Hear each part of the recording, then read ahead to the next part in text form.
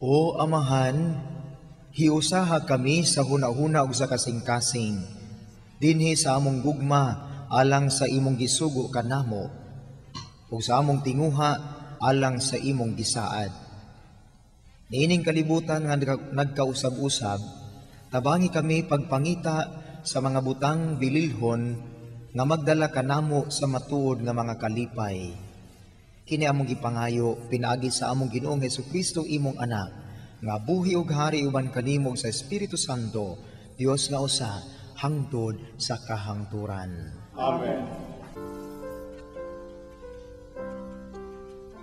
Kinutlo gikan sa basahon ni Propeta Isayas.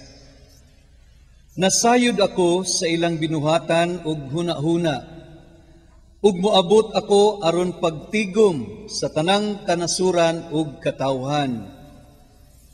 Manganhi unya sila ug makakita sila sa akong gahom ug magbutang akong ilanan diha kanila. Ipadala ko ngadto sa ubang kanasuran ang pipila sa nahisalin kanila.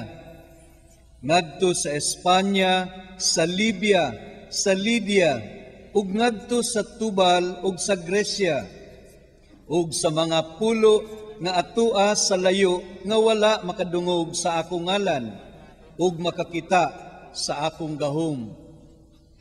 Imantala nila ang akong gahom ngadto sa kanasuran. Ug dad-o nila gikan sa tanang kanasuran ang tanan ninyong kaigsuunan aron ihalad ngadto sa Ginoo. Magsakay sila og mga kabayo, mga karwahe, mga karumata, mga asno ug mga kamelyo ug mangadto sila sa balaan kung bukid. Ang Jerusalem nag-ingon ang Ginoo.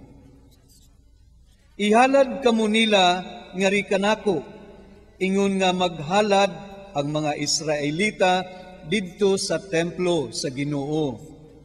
Sa ilang halad nga pagkaon, sinulod sa limpyong sudlanan.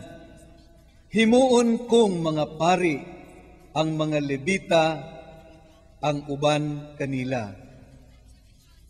Ang pulong sa Ginoo. Nakakama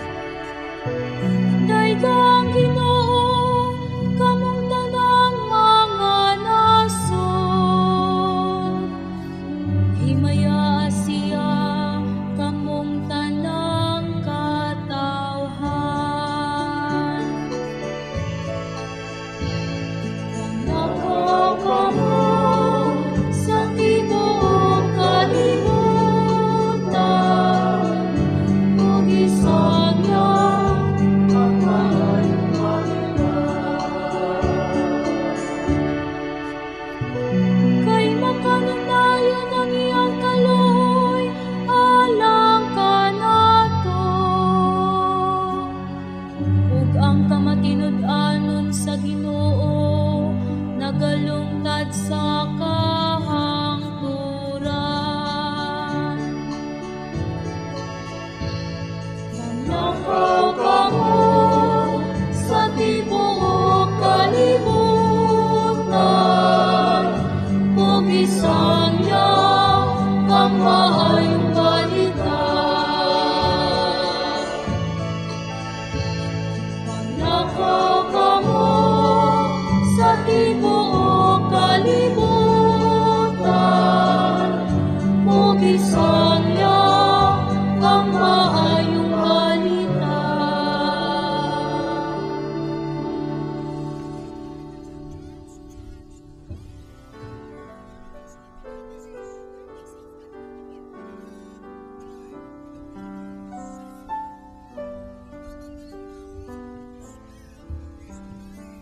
Tinutlo gikan sa sulat ni San Pablo ngadto sa mga Hebreo. Nalimot ba kamo sa makapadasig nga mga pulong nga gisulti sa Dios kaninyo ingon nga iyang mga anak? Anak, ayaw isipa nga jutay ragbili ang pagkastigo sa Ginoo kanimo. Ug ayaw kaluya kung badlungon kaniya kay kastiguhon sa Dios ang tanan nga iyang gihigugma ug latuson ang tanan nga iyang gisakop ingon nga anak. Ang tusa pagkastigo kaninyo ingon nga kini gikan sa inyong amahan. Kay nagpaila kini nag-iisip kamo sa Dios nga iyang mga anak. May anak bagod nga dili kastiguhon sa iyang amahan? Kung kastiguhon kita makasubo kini kanato inay makalipay.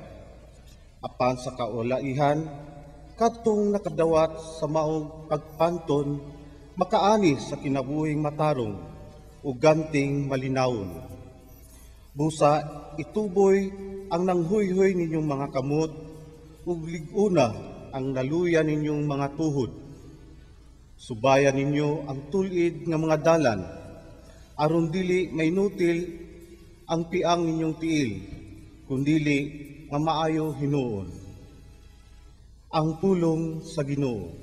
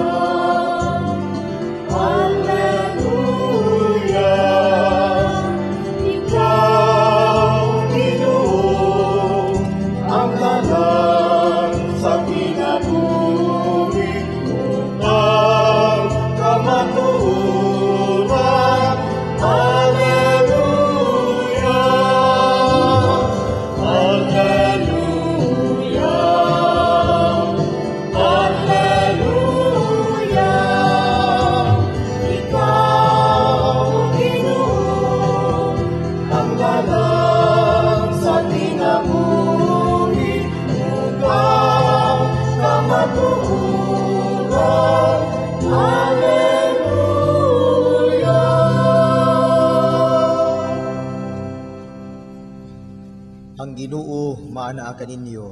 Manaasa kanimo. Ang pagbasa sa Santos nga Ebanghelyo sumala ni San Lucas. Iyang ikaw,